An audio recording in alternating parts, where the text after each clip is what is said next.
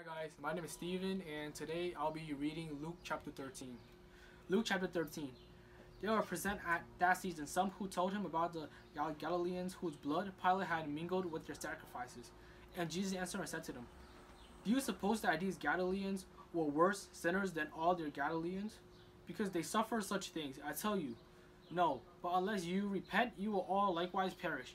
Or those 18 of whom the town in Siloam fell and killed them, do you think that they were worse sinners than all other men who dwell in Jerusalem?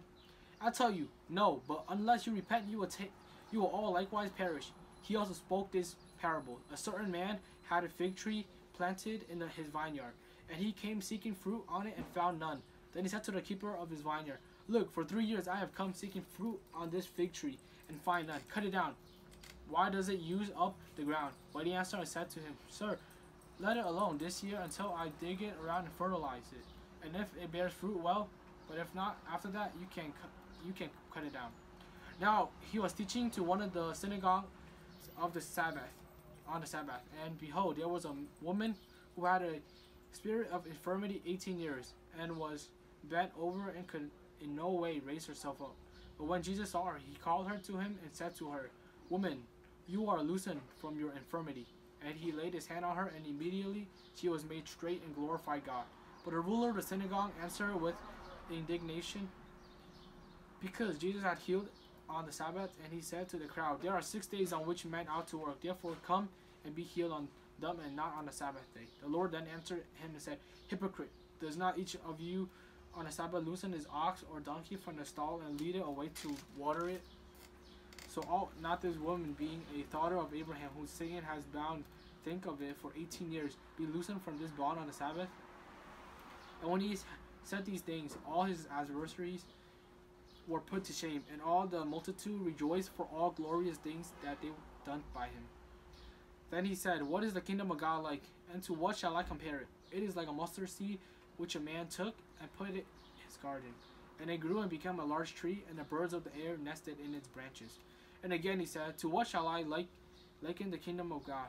It is like leaven which a woman took and hid in three measures of meal till it was all leavened. And he went through the cities and villages, teaching and journeying toward Jerusalem. The one said to him, Lord, are there few who are saved? And he said to them, Strive to enter through the narrow gate, for many, I say to you, will seek to enter and will not be able. When one of the masters of the house has raised up and shut the door, and you begin to stand outside and knock at the door, saying, Lord, Lord, open for us. And he will answer and say, I do not know you, where you are from. Then you will begin to say, We ate and drank at your presence, and you, you taught me out of the streets. But he will say, I tell you, I do not know you. Where are you from? Depart from me, all the worship, all you workers of iniquity.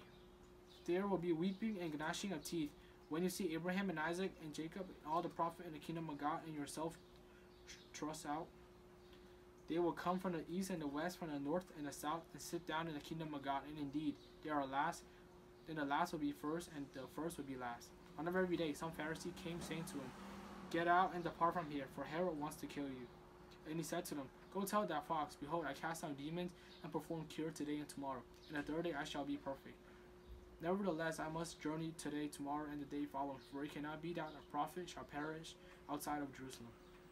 O Jerusalem, Jerusalem, the one who kills the prophet and stones those who are sent to her. How often I want to gather your children together as a hen gathers her brood under her wings, but you were not willing. See, your house is left to you desolate. And surely I say to you, you shall not see me until the time comes when you say, Blessed is he who comes in the name of the Lord. Luke chapter 13.